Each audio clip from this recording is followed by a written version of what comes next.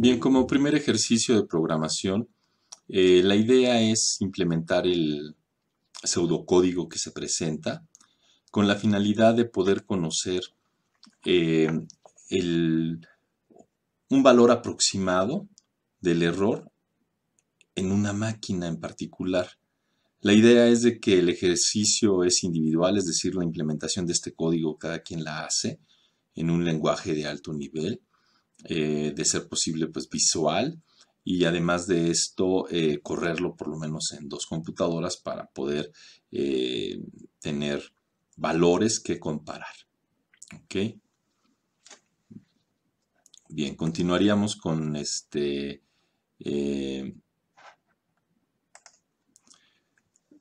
Con los órdenes de convergencia.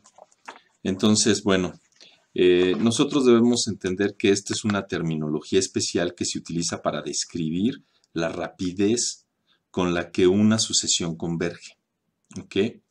Eh, lo que nosotros vamos a considerar es una sucesión xn, que es de números reales, que tiende a un valor límite xn eh, asterisco.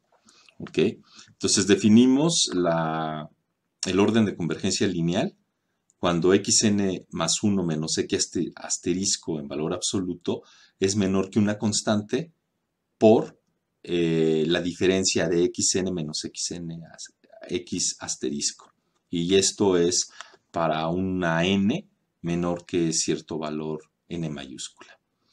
La situación superlineal es eh, considerar otra sucesión, aparte de la xn, una sucesión n que tiende a cero y que en un valor n eh, mayúscula se cumple que xn más 1 menos x asterisco es menor que en que multiplica xn menos x asterisco para un valor n minúscula mayor a n mayúscula.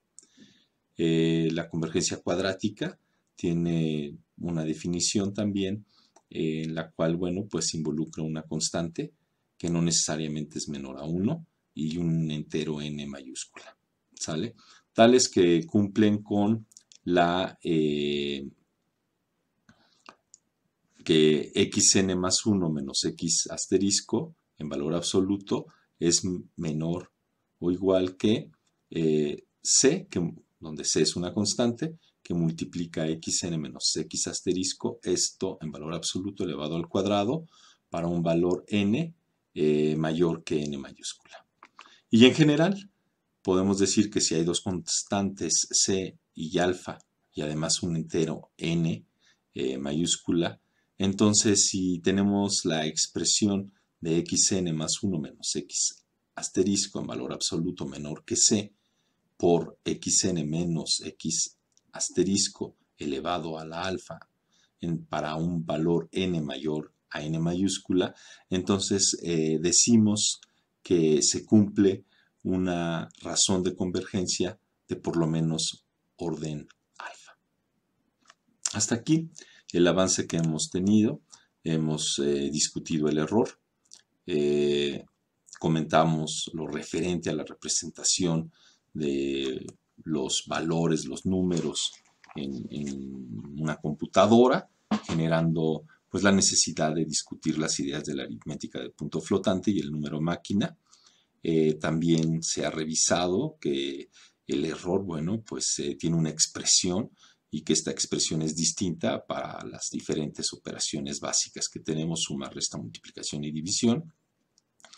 Se ha presentado ya eh, un ejercicio de la propagación del error, en donde, bueno, esta propagación genera valores en la sucesión este, diferentes a partir de cierto punto. Y eh, también eh, hemos comentado lo referente al orden de convergencia. Con esto prácticamente terminamos, eh, o más bien podemos decir que estamos terminando la unidad 1. Muchas gracias.